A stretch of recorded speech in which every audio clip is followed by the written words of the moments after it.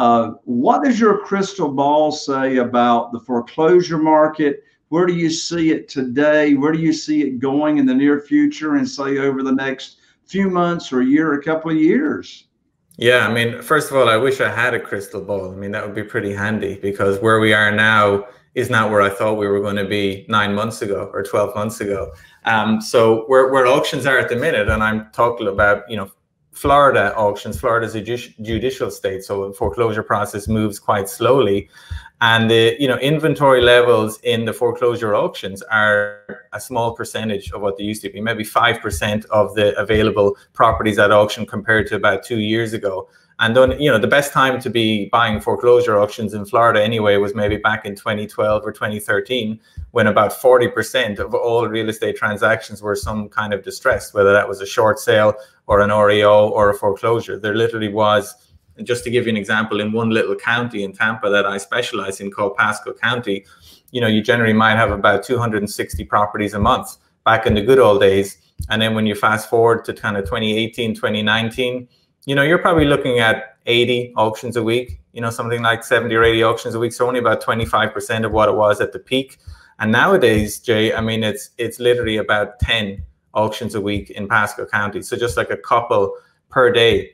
So it's really slow to an absolute trickle. I mean, sometimes you might read misleading headlines in, in CNBC or some of these you know real estate places where they might say, you know, foreclosure auctions in Florida have shot up, you know, 50%.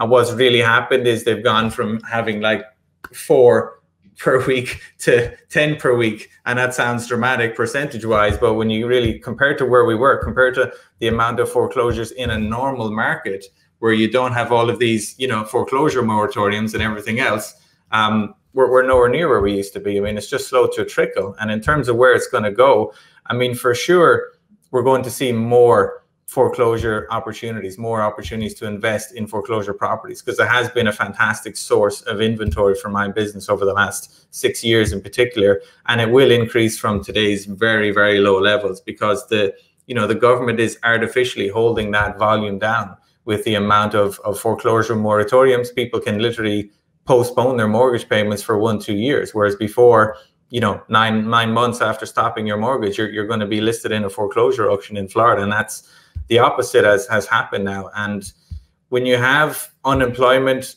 you know, rising as sharply as it did in the last year, obviously the recovery has been pretty impressive, but the amount of people out of work now compared to a year and a half ago is still dramatically different. You're talking about millions and millions of households.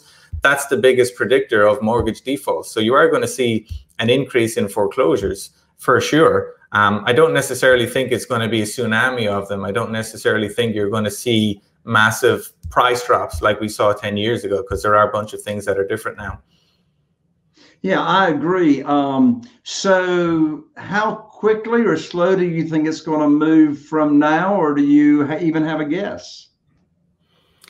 I mean, I see it seeing artif- I mean, the inventory at the minute is as low as it's ever been. I mean, it's literally lower now than it was even four or five months ago. So I can see that continuing for for much of this year, and then I'm I'm hoping um, that and i'm talking to some people some foreclosure attorneys you know people that are more familiar with the backlogs that are in the courts here uh, I'm, I'm hoping it's going to start um, you know increasing in in q4 uh, 2021 and q2 2022 so i think really next year is when you're going to see that increase in inventory and uh, to be honest with you, I think the market is able to absorb a pretty big in increase in inventory because it is so low at the minute. I mean, we're at you know a couple of months worth of inventory, and, and there's certainly um, demand for for for much more. And when you have that amount of of kind of pent up demand, um, you, you, have to figure that prices should hold pretty steady. So my ideal scenario, Jay, is having loads more foreclosures that are available for me to buy, uh, and I'm able to sell them at top dollar afterwards.